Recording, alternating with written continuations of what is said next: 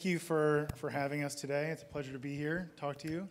Um, so, um, if, in case you don't know me, my name is Kyle Chapman. I'm actually a graduate student here at MIT, but um, also the newest member to Cosimo Ventures, which is a venture capital firm here in Boston, headquartered here in Boston, that specializes in investing in blockchain technology companies, specifically those that have um, the option to ICO, hopefully in the near near future. With me on the panel, thrilled to have um, Ed McNerney. Ed is a member of actually one of Cosimo's portfolio companies. Uh, he has served as a CTO to a number of companies, from startups to Fortune 100 firms, and most recently was responsible for design and engineering of new competitions at X Prize Foundation, which is exciting. So we're glad to have Ed here today. Also with me is Navroop Sahdev, uh, an economist and uh, someone who's building her own blockchain-focused fintech company. She's a research associate at the Center for Blockchain Technologies at University of College London, holds three master's degrees, and is the author of many blockchain-oriented publications and serves on the advisory board of several blockchain companies. So we're excited to have someone so well-versed in the blockchain ecosystem as well. Finally, last but not least, we have John. Uh, John Hargrave is the publisher of Bitcoin Market Journal, which attracts thousands of Bit investors to Bitcoin, cryptocurrencies, and ICOs. He's also the CEO of Media Shower, a leading media company connecting blockchains with great investors. So we're thrilled to, to have everyone here today, and we thought that it would be um, a good idea for each of us to speak briefly on different topics that we find most interesting when it comes to blockchain and ICOs. And then uh, after each of us speak for a little bit, we're going to open it up for a more fluid discussion amongst the four of us. Um, and then at the end, if we have time, we'll open it up for, for questions. So my background before I came to MIT, I was working predominantly in the traditional equity capital market space. Um, so I was doing a lot of work with marketing IPOs as well as fundraising for, for alternative investments such as you know, hedge, fund, hedge funds and, and private equity firms, right?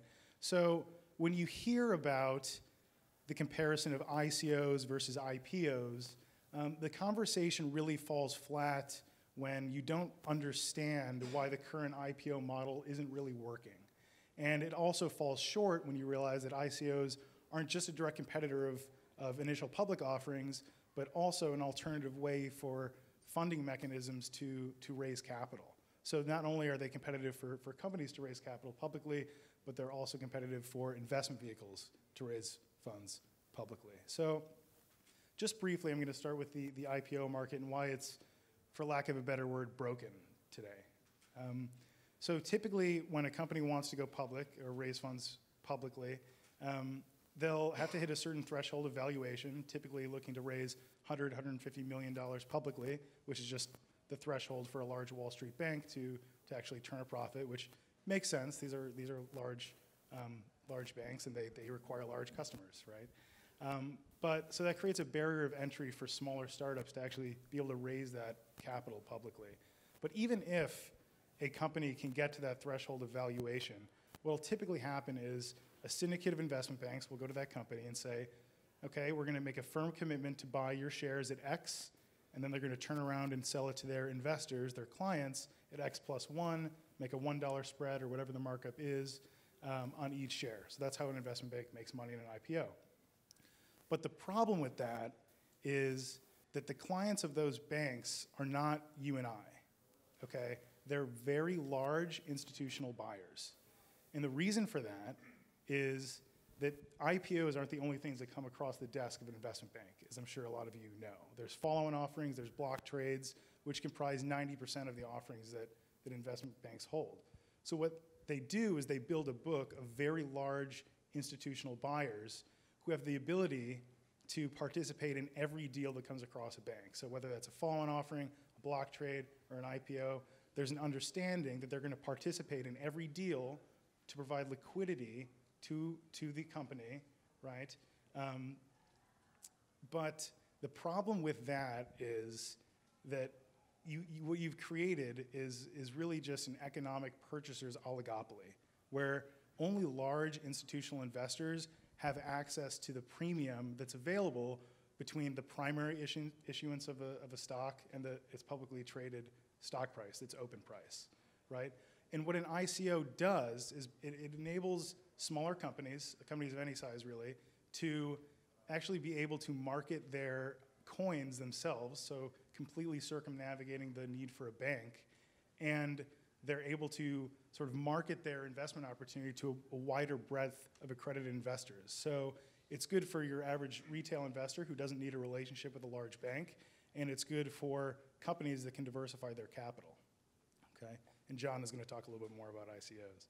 But um, more simply, on the tokenization model, you have um, private equity funds that typically look to raise capital either by going to large asset management firms requiring a minimum of 50, 100 million dollars at, at one go. And if you can't write that check, they'll go to a private bank with ultra high net worth individuals um, to create a fund of funds and raise, raise money that way. But again, you have the simple fact that your average retail investor doesn't have access to these type of elite funds that the 1% or 0.01% actually have. Okay, so it's the same sort of oligopoly problem.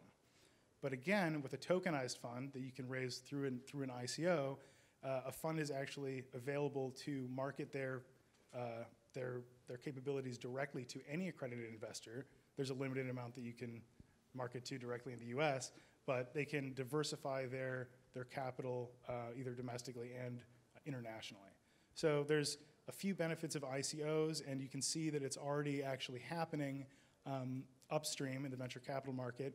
ICO fundraising has completely dwarfed uh, fundraising from venture capital firms this year alone. I mean, it's, uh, the, the size of it is just, just incredible. And that makes sense because obviously with a new technology, you're going to have people closest to that technology utilizing it first. And here I've included a graph that um, really marks the adoption of different technologies throughout the last 100 years in the US of the addressable market. So this has the radio on it, it has color television, the light bulb, and there's two things that you'll, you'll notice with the adoption of two technologies. One is they both follow more or less a type of an S curve of adoption, um, and that it really hits an inflection point at around 10% of the addressable market. So once 10% of the addressable market starts utilizing a new technology, whether that's a light bulb, a radio, or an ICO fundraising mechanism, that's really the inflection point that the curve really steepens at. You'll also notice that as time goes on, these S curves get a lot steeper, right? So the iPad was a lot quicker to catch on than electricity was. Just makes, that makes sense. So when it comes to ICOs, a lot of people are wondering, okay, well, when is it gonna completely displace IPOs, if it ever will? When is it gonna be, when is every fund gonna be a tokenized fundraising mechanism? And that's really dependent and contingent upon regulatory environments to be able to give some structure, some legal structure to that environment. And at that point, it just becomes a question of when it's going to hit that 10% of addressable market adoption. And when that happens, I think we're going to see a very large upstream movement of ICOs. So not just being utilized by startups, but by bigger companies. I mean, we saw Telegram's ICO the other day, which was massive. It's a record-breaking ICO. So it's just a matter of time before it hits that inflection point and actually sort of moves upstream to larger um, vehicles and can directly compete with IPOs. So I know it's a little long-winded for an intro here, but uh, at Cosimo, we, we feel strongly about this, especially as a venture capital firm that focuses on blockchain. And we believe quite simply that a business that hopes to be the leader and developer of other businesses cannot stand idle in the adoption of the very technologies that it hopes to advance through its portfolio companies. So we feel strongly that ICOs will, will be, I mean, with, with regulatory guidance, um, a very viable fundraising mechanism in the future, as well as tokenized funds. We believe they're going to become more commonplace. So thanks for that. Um, I'm uh, going to now turn it over to Ed, who's going to talk a little bit more about, about ICOs. Great, thanks. Yeah, I guess I will. Um, Yeah, let me push a button here. Let's see. Oh, not that button. There you go. That button. There it is. Um, Great. So I'm the CTO at Oneiro, and we're a, a new startup, and I've been part of the team for two weeks and two days now. Yeah. Um, It's pretty exciting. It's a it's pretty cool. And I think, you know, obviously that's, that's one thing you find in the blockchain space, but actually I think it's pretty cool, right? Nobody's been doing this for 20 years, right? And so you get a lot of people coming to this space as a tool where they've got ideas. They understand a problem, they have a problem they need to solve, which is always great. I- You know, I, I really dislike startups who start by saying, hey, we can make a lot of money doing this, instead of saying, here's a really valuable problem, here's a, you know, we've got people out there that we can, we can really help with. Um, I want to ask a couple questions, just, just first. How many of you have been involved with a VC-funded startup in, in any way? Got a couple? Okay, great. Um, How many of you have been or are involved with uh, a, a company that plans to raise money through an ICO? Got a couple of those, okay. Um, How many have actually raised money through an ICO? Okay, one back there, great. That was, that was the, this is the session after lunch, I get people to move around a little bit so you don't all fall asleep uh, exercise. But, but that, that's helpful. Um, And I've been through a, a couple of VC experiences, and I wanted to just sort of uh, spend, you know, a few minutes sort of following up on, on Kyle's intro and comparing, to the extent we know them, the, the real differences between these models, right? And everybody, uh, everybody in the entrepreneur world likes to dump on the VCs, right? They're pain in the ass, they are all, they're all over you, they get a guy in your board, they, they, they take huge chunks of equity from you, you know, ugh, ugh, right? Um, and they're on your side, right? They're, they're your best friend, right? Because they've been here before, they understand it. Um, their interests are very clear, right? They're there. It's always easier to uh, do business with somebody if you know what their motivation is, right? And it's really easy to figure out what the VC's motivation is. There's, there's no question about that. And they know that they need to keep supporting you and keep moving on. And so there's really, you know, it's, you might say, a, a, somewhat stodgy, uh, staid model, um, although, you know, I've certainly seen it evolve over the last 20, 25 years or so. Um, but it's got some pretty clear uh, advantages, disadvantages. And I think you really, you know, we should all really uh, keep an eye on those, kind of not, not lose sight of those. Uh, in the ICO world, um, you know, ICO is sort of like infinite choice of options, right? I mean, there's just like so many different, like, there's just no playbook, right? You could do whatever you want to do. And uh, I think it, I find it most, uh, most valuable, you know, uh, when uh, Tezos did their ICO uh, and afterwards, and they had a rather bumpy road, right? But they, uh, Kathleen Breitman uh, said that, that, you know, their coin purchasers, you know, should have expected that uh, what they were really doing was like donating money to a nonprofit and getting a tote bag in exchange, right? Now, uh, I think Tim Dra- Draper said, I wasn't expecting any tote bag, right? I was expecting a little more than that. Um, and uh, the best analogy that I've come up with uh, with an ICO model is think of it more like Kickstarter, but your tote bags, there's a market for your tote bags, right? So there's, there, there's a way that you can, can, can move those, that, that value around from the purchaser side. It doesn't change your business model. Um, it doesn't change the fact, I should say bus- business model, it doesn't change your business plan. You need to do all the same stuff that you always needed to do, right? There's no uh, magic dust here that's going to uh, take your uh, unresearched, uh, disorganized, you know, chaotic idea and, uh, and turn it into, into something magical, right? And, uh, you know, you have an opportunity here that I think is worth uh, looking at after you've thought about the VC approach. Don't have to think about it very long, just don't discard it out of hand, right? And I think one of the reasons there is if you're not successful in the VC world, then no harm done, you can move into an ICO world, there, there's, there's no problem there, right? If you've done an ICO and had whatever level of success, and then are looking for VC, you may have a bumpier road, right? You now have some kind of obligations out there, you've got some kind of something, it makes things complicated.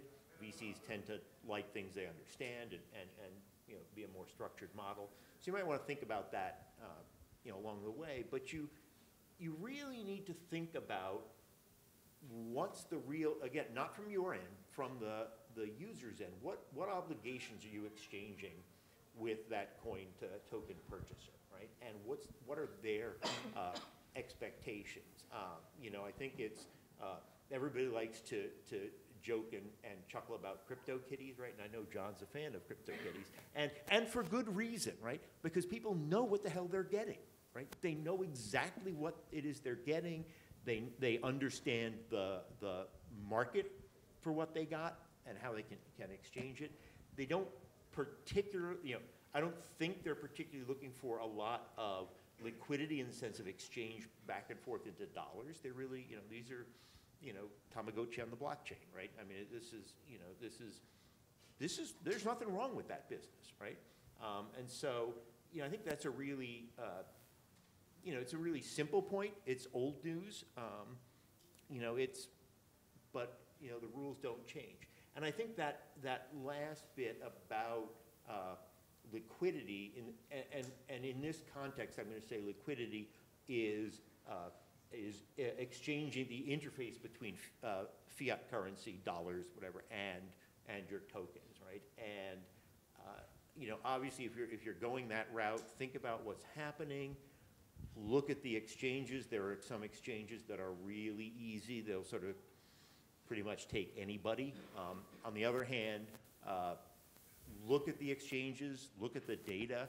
Um, I did a quick look uh, this morning uh, on uh, Cryptopia, which uh, has 992 trading pairs right now, um, one of the biggest I know, and about 80 of them were doing more than $10,000 a day, right? So 912 of them are, you know, there are a lot of zeros down there. So that, that's not necessarily, you know, you may not be looking for, for something that big, but just think about what your users are expecting and what their, what their expectations are. Again, if you're more in the utility token space, maybe that's not a big deal. Your, your people are expecting to pay dollars to, to be able to do something uh, on your network, right? But you know, just think about that piece. And, and I would say that my last point uh, related to that is if you're thinking about that piece, everybody's thinking about regulators and, and the SEC and the CFTC, and that's a really good thing to think about. Don't build your business plan around current regulation, right? Build a big, good business plan, and then talk to your lawyers and figure out how that can fit into a regulatory framework, right? Because it is probably going to change next week, next month, whatever. It'll continue to change. It'll continue to evolve and you don't want to be that to be the the tail uh, wagging your dog. Uh, and just sort of last example I want to give in terms of value. You know, what is it you're you're building for your token holders? I would say uh, on Tuesday we may get a really interesting lesson. Uh, Verge recently uh, sold 70 million uh, of their tokens, um, and the funds were to acquire a mystery partner. I mean, I don't know what hell kind of business plan that is or why I would buy one of these things. Like, give us your money and we're going to buy something with it, right? But on Tuesday, they're supposed to be announcing uh, what it is. So maybe I will uh, be proven to be uh, an unwarranted cynic, but uh, I, I, encourage you all to have a better answer than that about what your, what your coins are going to do. Thanks.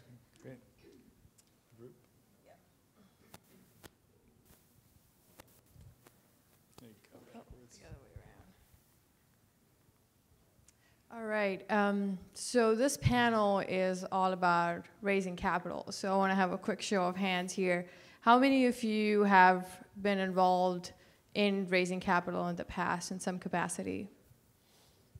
Okay, so around 20, 25% of the people. Um, now, the reason why we thought this panel was so interesting is because of this new model of ICOs, right? That is seeking to disrupt the traditional models, which are, first of all, doing an IPO, going public, raising uh, private equity or from VCs, both perspectives that you heard so far. And uh, I want to talk a little bit more about a new way of raising capital that the Jobs Act enabled, and that is crowdfunding, and how, in fact, ICOs is uh, a successor of the crowdfunding uh, model.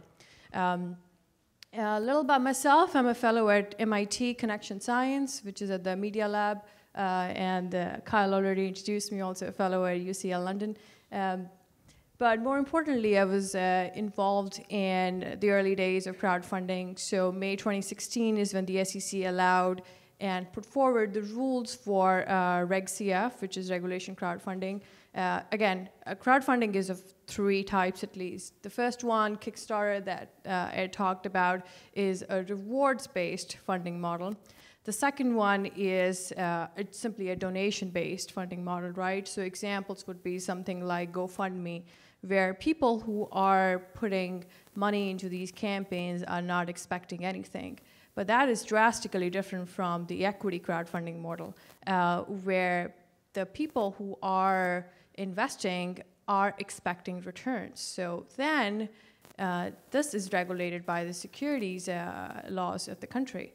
Um, so anyway, that was allowed from uh, 2016 in the U.S.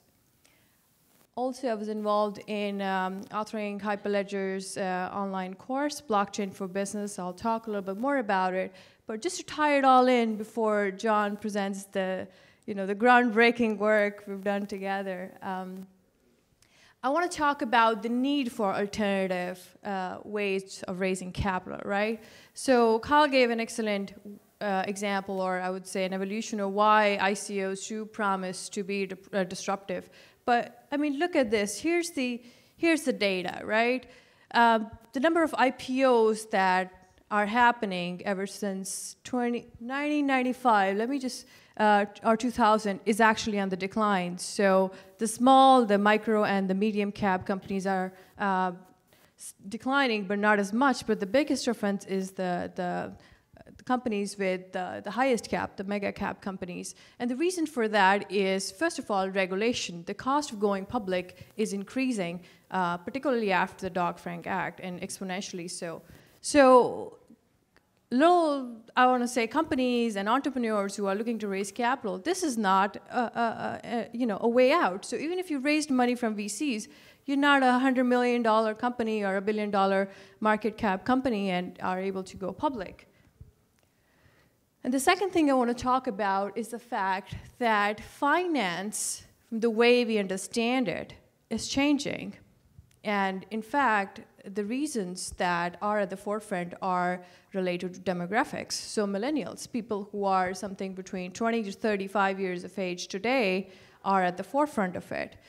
They are not playing golf, they're not buying houses, they're holding a lot of cash, they're not investing in public markets, uh, so on and so forth. So, there's actually supply of capital that is not being fully utilized people do not want to look at screens for hours from NASDAQ and NYSE and try to invest in the public markets. It's harder and harder to interface with public markets because uh, the market is so fragmented, because there's so many people along the way you have to deal with. Unless you go through a trader broker, you cannot directly buy any stock or security in the public market. Right? So these are the trends that sit at the forefront of it, and millennials as the agent of change. So think, for example, 50% believe that a few years in time we'll not be talking to banks at all. And hence, uh, finance is ripe for disruption from companies like PayPal, like Venmo, like uh, more, I would, I want to say more distributed and decentralized companies. Uh, so moving on this is what people are looking for, right? They're looking for simplification, transparency, and be able to understand it without an information overload. Information, data is increasing not at a linear scale, but an exponential scale. So that means it's, it's, it's harder and harder to, to digest it, right? So simplification is needed and reduced frictions. Uh, there's also an element of loss of trust and faith, I want to say, after the 20 uh, 2007 and 2008 financial crisis. And now, if you, you realize that the, the risks, that the problems are systemic, uh, it is because too few people have too much control, too much authority, too much money. Uh, that uh, we saw what happened, and you know, a lot of it was actually paid out by the taxpayers. Actually, like Iceland, they put all the bankers to jail. so, uh, and you know, we're talking about a, a new era. So here's what I want to talk about. Just to put it very simply, I covered the fact that there's demand for capital. Uh, most of the entrepreneurial activity actually comes from small, even cottage scale entrepreneurs in the US. And the fact there's supply for capital because, because the trends are changing. But an important element of that is technology. The fact that technology is actually leading this revolution. It is deciding the pace, I'm sorry, and it is deciding the direction of this revolution. So you want to be at the intersection of this Venn diagram. And so this is where the crowdfunding model um, comes in. So I actually did a report on this, what I call crowdfunding meets blockchain last year, and we're looking to build a trading platform for crowdfunded equity. Uh, the secondary market is actually non-existent in the United States. So if you buy securities or uh, whatever from a crowdfunding portal, you would be stuck with that equity for seven to 10 years on average. But the need for a secondary market has always been there and, and recognized by the regulators. Um, and you know, if you think about it, the secondary market is critical and points towards the health of the primary markets. So I was looking at the literature and realized, hmm, there's actually nothing out there. Now, what happens if you do it on blockchain? Um, you know, if the underlying network structure is not a centralized one, but a peer-to-peer -peer one, it changes things drastically. Um, the public markets are actually so liquid and the speed you have is so because there are people who sit on both sides of the market. And there are central banks that pump liquidity into the markets. And guess what? The biggest trades are actually executed in dark pools, which are alternative trading systems.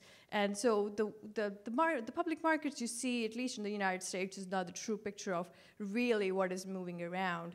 So uh, but if you use a blockchain backend, all of this would be transparent. So we had questions around, wait, wait a second, what would happen to the liquidity of such a market? Would there be enough buyers or sellers? And it's funny because I, I think it took me back to a more fundamental question as to how much liquidity is enough liquidity?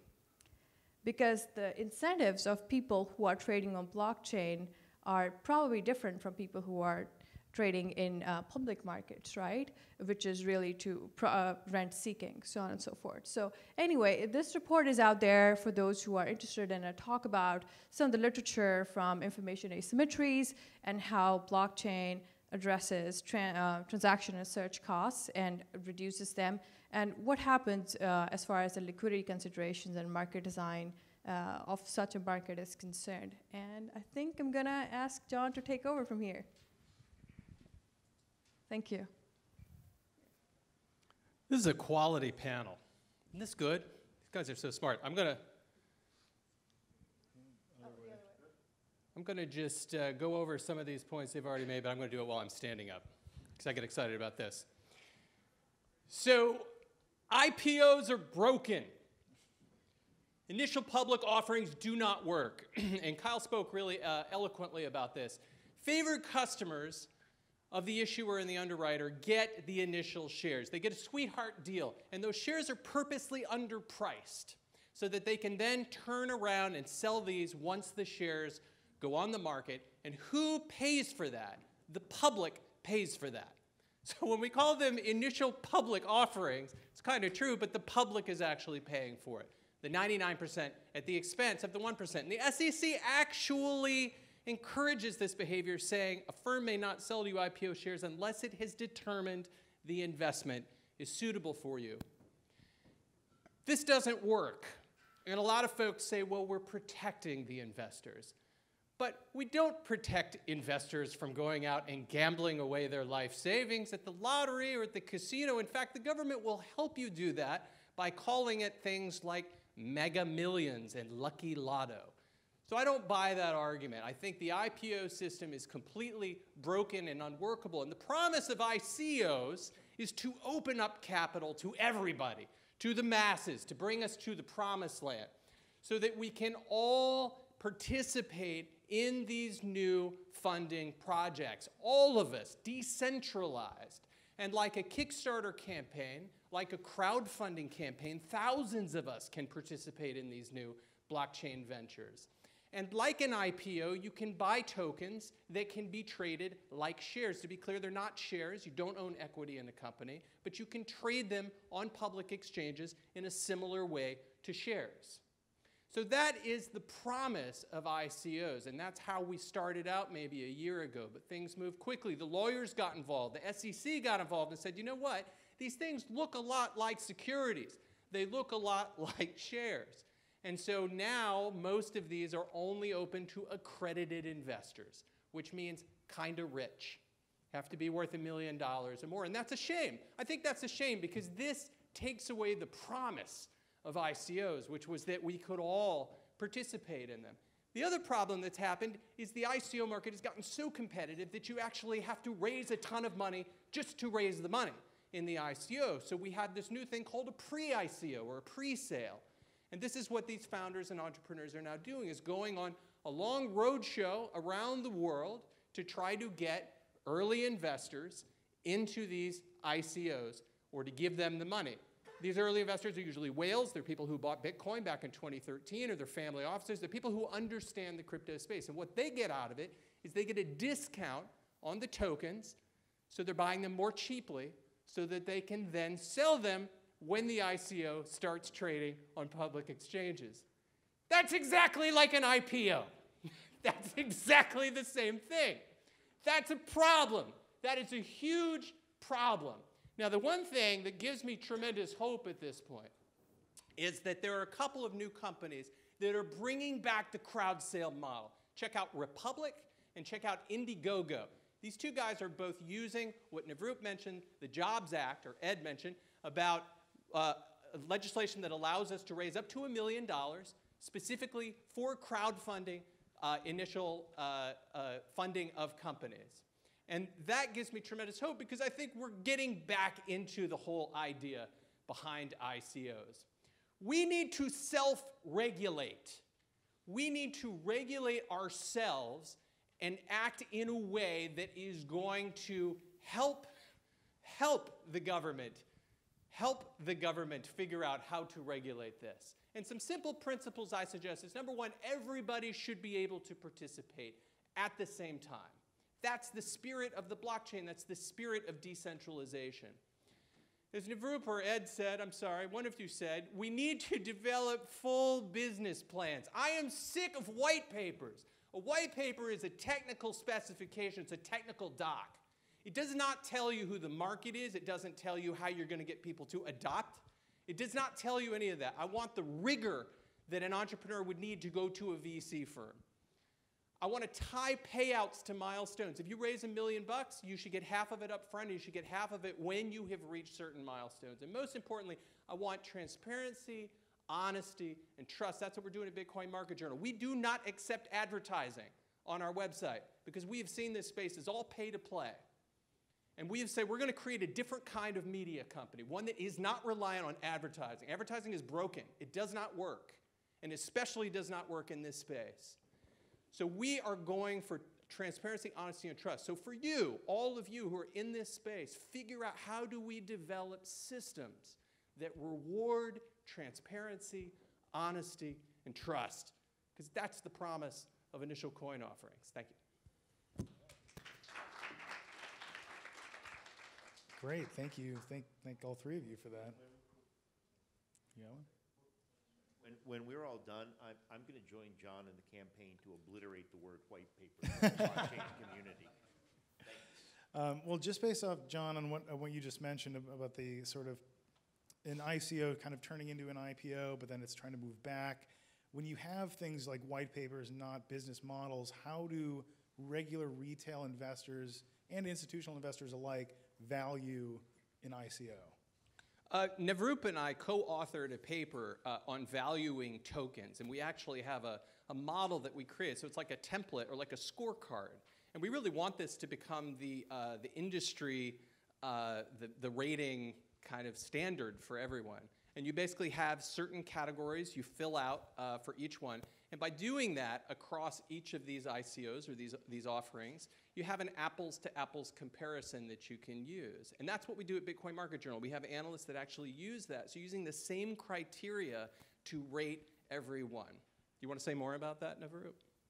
Yeah, I want to say it's the first paper on behavioral economics applied to token valuation. We were asking this question how is that people are putting real dollars behind tokens, which aren't even equities. They may look like equities, but you know, there's a disclaimer saying these are these are these are not securities.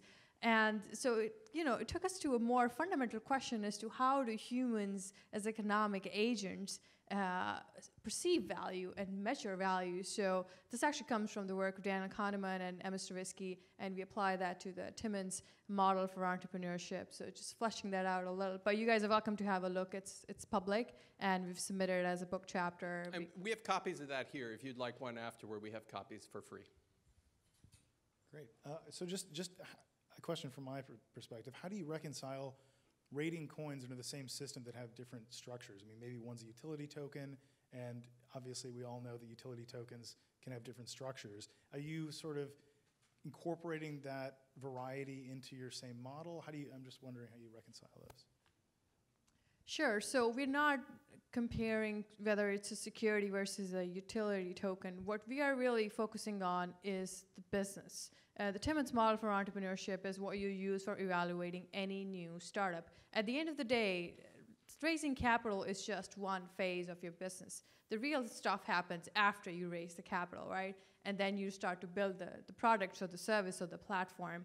So what we're really looking at is indicators such as what is the market for this? Uh, will it open up new industries? Uh, so on and so forth. So uh, at the end of the day, it is about the idea, the plan, and the platform. Okay, that's, that's helpful. Yeah, and, and I think, you know, what, what you ought to all be hearing from us is you're building a business, right? That hasn't changed. You want a business plan, not a white paper, right? That, all of that hasn't changed. Right. I think part of the reason why the space has gotten so much negative, uh, you know, uh, feedback is because a lot of companies are looking at it as a quicker way to raise a lot more money, and, and that is damaging to everyone else. You know, the promise of actually decentralizing capital formation uh, opening up to the crowd, which is holding uh, liquid assets, is being diluted by this. And, and as John pointed out, it's sort of like going back to, again, with the way IPOs are done, where a few privileged parties, uh, you know, actually participate in the sale. So Ed, just, just for you, you mentioned that, you know, a company could first look at venture capital funding, but maybe if that doesn't work out, then they can pursue an ICO because all of the routes are kind of exhausted. I'm wondering if, if there's any situation in which someone would prefer to do an ICO versus any kind of venture capital funding and what they need to sort of get right or what they need to consider when taking the steps to launch an ICO. Sure, thanks. Um, yeah, and uh, don't don't think I'm here trying to pitch VCs, right? I mean, it's uh, it's it's got a lot of disadvantages. You know, John, Kyle, we talked you know talked about that, but it is well understood, right?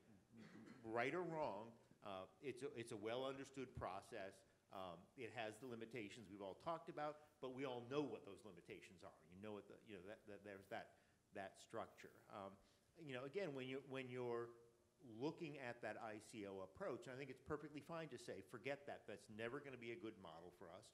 Or, I mean, you might just simply say, we do not want to perpetuate that model of doing business by getting involved with it at all, right? Good, bad, or otherwise, we are just, that's, that's not the way the world is moving. We want to uh, help move the world forward. You know, I, I think And- that's just, that's just really essential. I think, you know, honestly, I think I've got a problem with that because, uh, first of all, the criteria that VCs use. So how does how does VC work? R- right, they, they invest in 50 companies and only one of them needs to work at the end of the day. There's so much uncertainty in early stage companies that it is impossible to predict and account for all the factors that would come in ultimately, you know, taking a company towards uh, an exit side of things. What John and I are actually proposing is that exact criteria but in such a way that normal people, you and I, actually understand it. It is not something that is hijacked by just a small community of people who, who make quick money. And then at the same time, I think it's easier for entrepreneurs. That's the only um, good thing I can think about raising VC uh, money because you're only dealing with a few people. But at the same time, what about you know decentralization, democratization? All of that is just out of the window because you know VCs is believe you're me, really I've- I've concentrating few capital. and I'm, I'm, I'm, you know, I'm, I'm uh, not not interested in that pain again. But I think the key is, and the model, you know, that, that you two talked about, I think is really key, right? It applies in, in, you know, what, what, what you've shown is this applies in any world. This world is not different. And I think that's really key in terms of feeding into your, to your uh, token valuation and, and how you think about it. One of the things, and I've seen this a number of times with Kickstarter, a good model there are the, the Kickstarter. If you look at the, the largest Kickstarter campaigns, right, for Pebble, for the, Ouya game console, whatever, and you look down and you do the math, you realize that an enormous fraction, often two thirds, three quarters of the proceeds from your Kickstarter campaign go to pay to make the stuff that you promised the people that you know who, who engage in your campaign. So only a third of that is left over, or a quarter, for you to actually do something else with. And again, that's a factor of sort of valuing what are the obligations you're taking on as part of that effort, and it all factors into the to the same valuation model. It, the world is is other than the democratization, which is awesome. The the business that you're in it doesn't you know is no different than it used to be. I'm, I'm meeting a lot more VCs who are trying to kind of create a hybrid model. So if you picture the VC coming in at this pre-ICO stage and helping get these companies off the ground, uh, and I think that the smart VCs see that there's this tidal wave of change coming. Their whole business is being completely disrupted. The dumb ones, of which there are many, are saying this is not really worth us bothering about. But the smart ones see we got to figure out a way to work with this whole system. And so there is a, some very interesting hybrid models coming out. They help you fund at the beginning. They give you the expertise. That is what a VC brings. They bring you the connections. There's lots of value that they bring. But then you can go do the ICO and do this more in a, in a democratized way. Yeah, and I, and I think, uh, you know, the Tezos uh, uh, ICO is a perfect example, right? Where their, you know, their biggest buyer was Tim Draper, you know, one of the biggest well-known VCs of them all, right? And what's he doing? He's getting in there and, and buying, the, buying the tokens and, and supporting that into the world. I'd just like to mention that Cosimo Ventures is a hybrid model, so I don't take offense to Perfect. that. so. Perfect, yeah. Um, so, John, I just had a quick question for you. How, how much does a typical ICO raise, and how much pre-money private investing is typically needed to launch a successful IPO? Are they directly correlated? Are they somewhat correlated?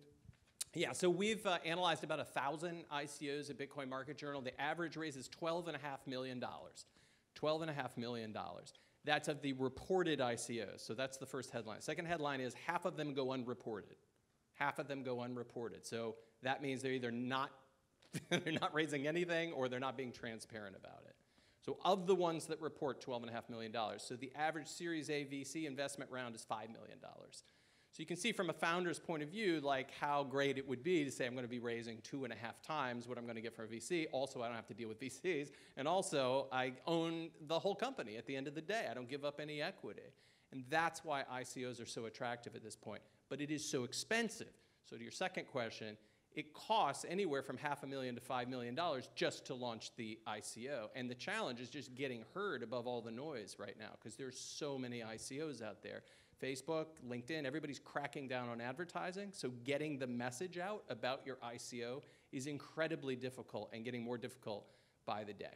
So Yeah, just I- a, I a was Just at, just at, at that last point, uh, about, on a, a typical Kickstarter Indiegogo uh, site, about sixty percent of the revenue comes from your own network, right? It's sort of, you know, uh, going downstream from that. So just don't forget the fact that you've got to find somebody out there.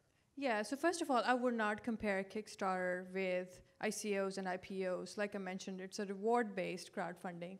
Uh, apples to apple comparison would be equity based crowdfunding. So different, uh, completely different, uh, you know, uh, incentives as well as regulation there. The second thing I want to mention, John, just as a note of caution, like average 12.5, I saw a reaction there. And, and the problem is the market is extremely skewed. The ICOs that are raising money are actually raising a lot of money, and the ones that are not are raising no money whatsoever. If you average it together, just statistics, it's 12.5. That doesn't mean all of you should go out and do an ICO because you're going to make 12.5 at least. So just Yeah, I'm sure the median is much lower than the mean for that reason, right? um, yeah. So he talked about mean and not the median. Yeah. Um, okay, great. So I think we're kind of coming up on time. I wonder if we should open it up to questions for the audience, if anyone has any questions back there, I think. Sure. So the problem is, it sounds like the IPO ICO market's broken, we want to get more people into it. If if that's the case, why is ninety percent, or it seems to me ninety percent of the ICOs going for blockchain technology? Shouldn't they also be going for biotech and advanced you know, artificial intelligence? I mean, why, why is the technology of blockchain tied to the ICO process? So- Yeah. So the question is, why is every ICO a blockchain project if it's the future of fundraising? Drugs, Yeah, it's a good question. Well, I mean, I would just like to say that, first of all, blockchain is not, it's a technology that can be implemented across various um, different fields, right? So we, I mean, we have a, um, a cybersecurity blockchain company that deals primarily in medical devices, right? So there's a various number of different fields that can like use an ICO. But right now, the, reason why, okay, why can't any company just do an ICO that's not blockchain affiliated is that a lot of the time, especially under the current regulatory environment, you need almost a utility ICO as opposed to a security, right? The jury's still out on whether or not ICOs are a security, whether or not they're going to allow utility tokens at all, um, or if they're going to just categorize them as securities. And um, you know, the SEC, whether it's going to fall under them or the CFTC, it's un, it's undetermined. Yeah, let me let me take a step back Yeah. here and see if I could uh, take a stab at that.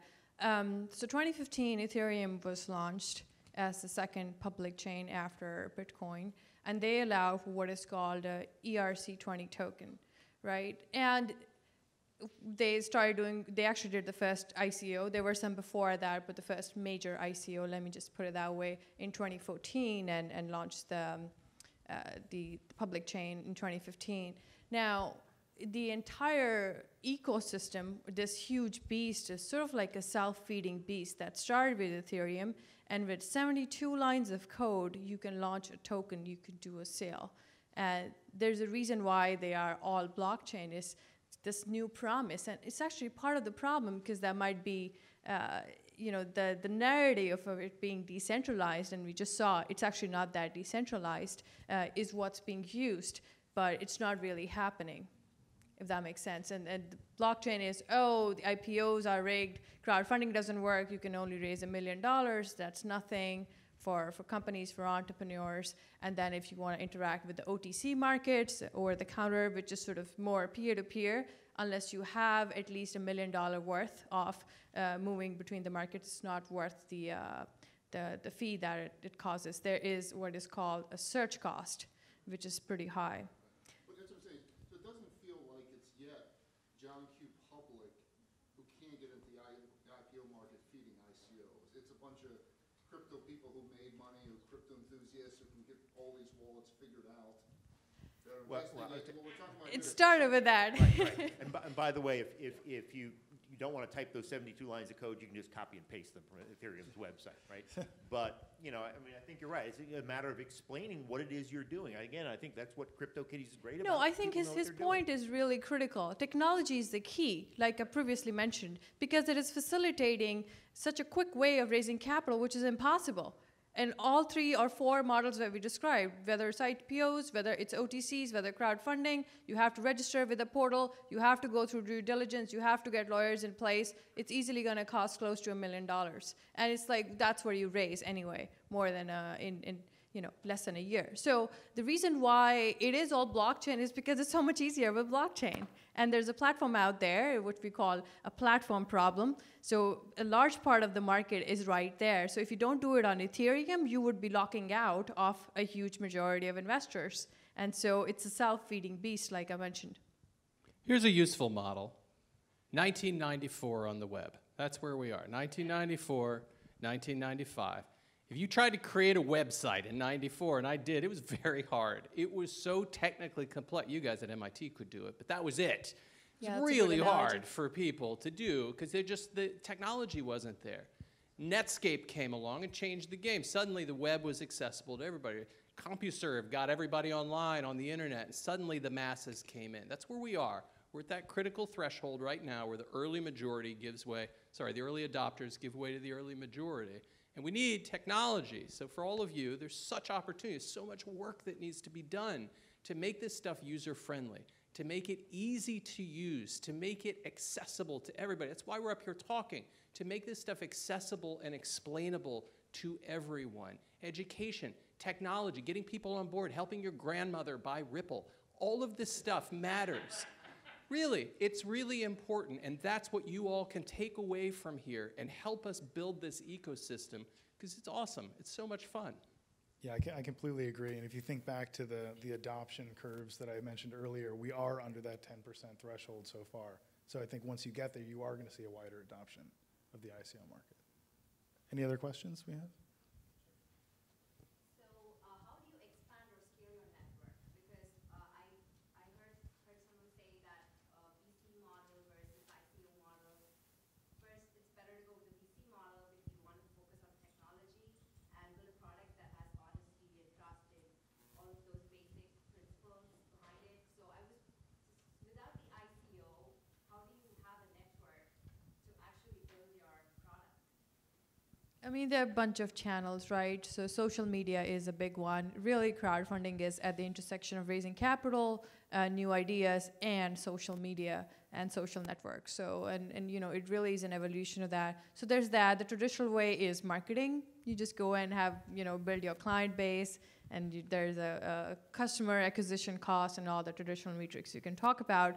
Uh, but this thing is rapidly changing because we're increasingly connected, and there's what is called network externalities, uh, where any, every time you bring in one person, that person in turn is connected to 200 other people, so you can tap into their network as well. And that's really what ICOs are doing.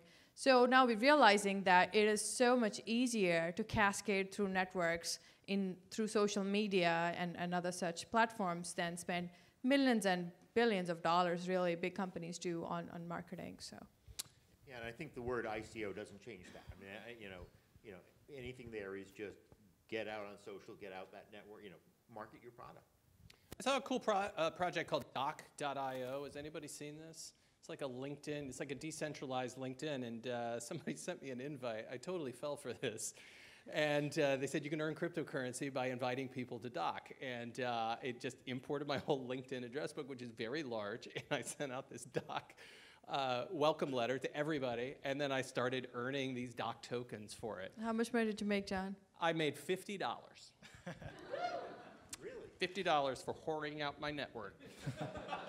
and uh, I think you did pretty well.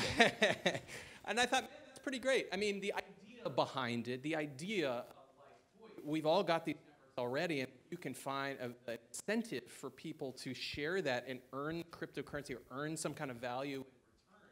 They should. They should. This is the problem with Facebook right now. Like, right, we get none of the value. Facebook gets all the value. We should be sharing in the value that we are creating for these platforms. That's the promise of this stuff. Yeah, that's a very critical point. Monetizing your own data, controlling it, and actually making use of it, and not a third party doing it. Okay, we're coming up on time. I think we have maybe time for one more question. Make it good. Ask when you can. I was just gonna ask, so like, given the structure of like pre-ICO and ICO and who's essentially able to, um, come in at specific points in investing, what type of marketing strategies have been most effective for the clients or companies that have been successful? Are you asking for the, f- for the venture capital firms that are doing the For ICOs. pre-ICO or? So a lot of what people are doing, like John previously mentioned, are these road shows. But here's the thing: if it's a utility token and you don't want the SEC to come after you, what they're doing is they're building a network of users first. So a valuable user network, and they're airdropping these tokens through social media. So basically, they're not selling it to you, and it's not an investment. They're simply giving it to you. As you go and use these tokens on their network, the value of the network grows through what is called the Metcalfe law, which is uh, proportional, uh, the square of it, to the number of users. And then you can start monetizing it. So that's the newest that we've seen in the space. I'll say two words add value. Add value. It is so easy to create value in this space right now. We're creating value up here right now. You guys take this, these ideas and go run with these and start your own. How much value are we creating today in this panel? Like, uh, yeah, priceless, right? Priceless. Oh, I like that. Right? Like a billion, a trillion. I, it's Clearly like, more than fifty bucks. no, More than 50 bucks. yeah. So figure out ways to add value with your project, with your blockchain project, with your ICO, and the more you do that, the more the good stuff will come back to you naturally. It's just the way the world works. Great. So, One last question there. okay, we can do one more. So, given that the government's got the heebie-jeebies about all of this stuff, and you talk about the democratization being one of the real strengths of it, is there some sort of way that, because one of the fears that I think our government has, other than that we'll take over and actually know what's going on, is that people will make poor decisions, and, and fifty of the venture capitalists' investments blow apart, but that one makes them a billion dollars.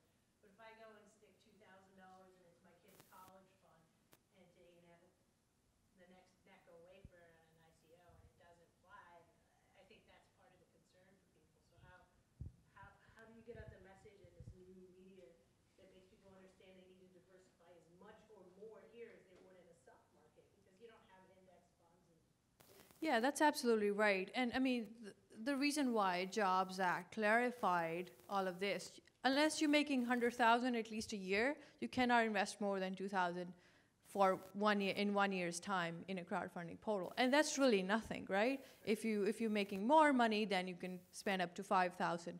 So that's one of the mandates of the SEC along with efficient markets. And and you know, they're doing it. Uh, The thing is, I think people want to take risk.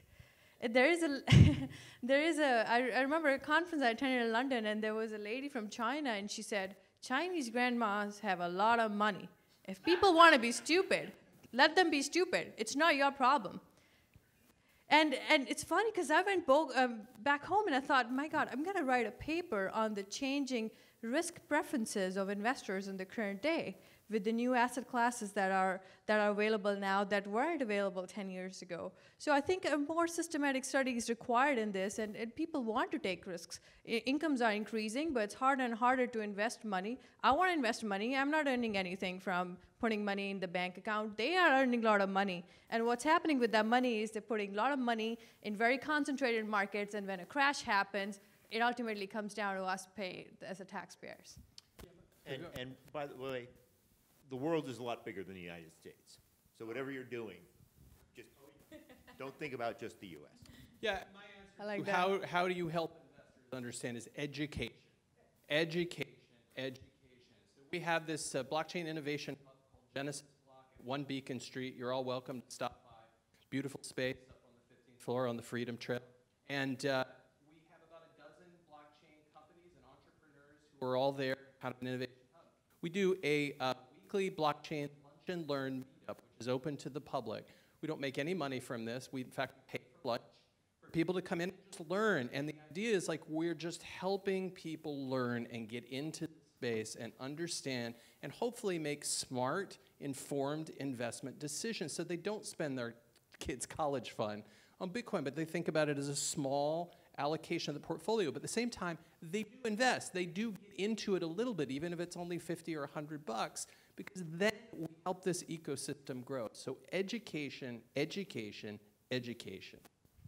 I, I think that's exactly right. And I, we're, we're just about out of time, so I'd like to thank my, my panelists here and thank all of you for coming and ideas for, for hosting this. I think we're going to be um, around if you want to ask us some questions in the lobby, but, but thank you all. We really appreciate it.